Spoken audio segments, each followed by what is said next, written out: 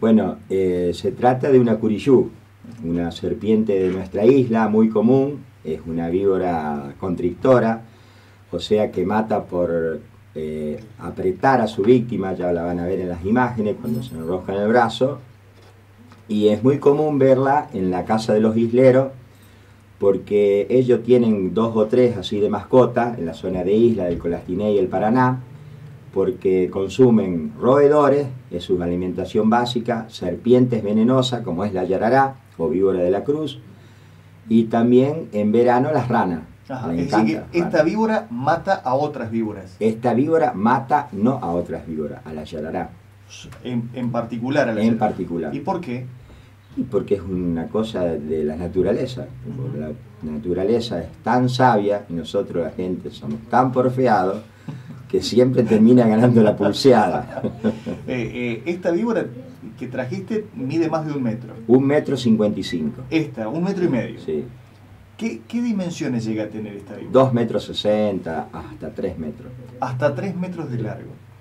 Y es mucho, eh, este, de un diámetro mucho mayor, obviamente, que el que también mostraste. Claro, es mucho mayor. Es una víbora que capturé ayer está muy saludable, la capturé en la zona de Caima, en un camino que llegando a la bajada de Josenjo, que todos la conocen, estaba con mi suegro en la camioneta, eh, Juan Carlos Ferrari, había ido hasta la costa a hablar con un pescador, y vi gente en el camino, y ¿cómo se llama? Miré así y vi la víbora, que era una curiyú, y frené con la camioneta, me bajé y vino un hombre que con un palo aparentemente para, para matarla porque el hombre tenía miedo porque había chicos ahí en la cosa y le digo yo, le digo, señor no la mate, le digo que es una curiyú, yo la voy a agarrar con la mano. Y la señora me dijo, vos sos loco. Y yo le dije, señora, no hizo ningún descubrimiento.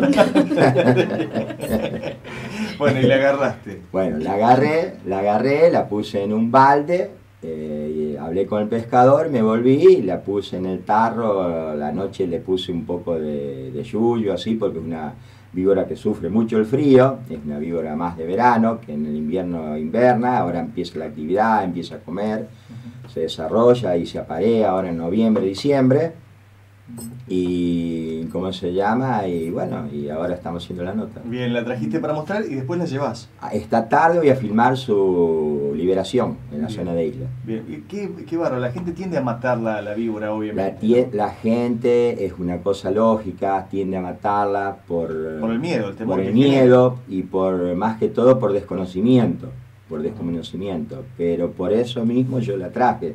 Yo hoy la estuve mostrando acá a algunas personas en San Carlos y solo una persona supo, supo cuál era, que es el señor Wagner, eh, que es viajante, que viaja mucho y es muy conocedor del tema y él dijo lo que era y todo, es un tipo conocedor. Es decir, que esta víbora, a diferencia de otras, no muerde a su presa, sino que también la eh, muerde. La muerde y se les enrolla. Bien. ¿Es venenosa? No, no es venenosa, no es venenosa.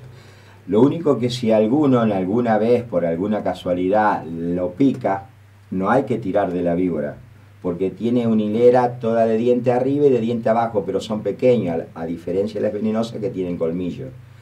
Hay que agarrarle la boca y levantársela y sacarla así, con la, esta mano. Sí.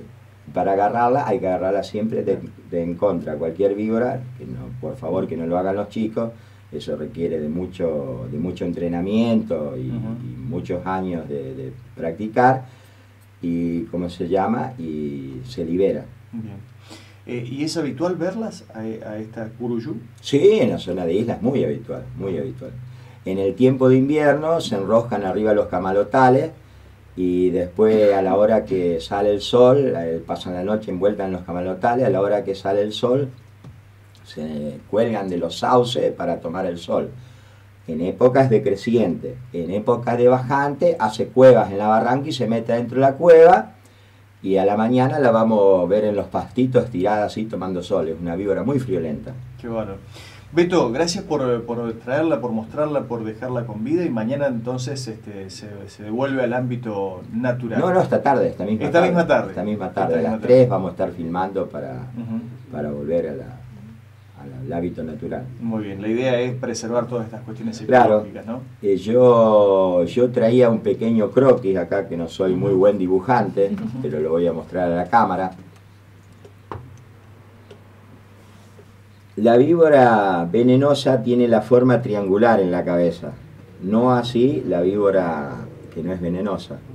Siempre la víbora venenosa tiene la forma triangular y en la parte de la cola se afina bruscamente, como un latiguillo tiene. Bien. En cambio, la víbora que no es venenosa tiene una hegemonía, como Ah, vos viste. Sí, sí. Lo que pasa que esta víbora que yo te mostré a vos, eh, en su defensa se abre y Como la cobra. como una cobra y vos lo filmaste.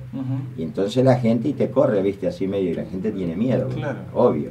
Claro. Mirá qué buen dato ese, ¿no? Tan simple que no, no lo sabíamos. La- Claro. Las víboras que tienen entonces la cabeza triangu- triangular, mayormente este, tienen un veneno muy fuerte. Muy fuerte. Tiene, el veneno es para matar a sus víctimas. Ujú. Y no lo usa con, no lo, no lo usa, ella no lo quiere usar, lo usa en, su- en situaciones extremas.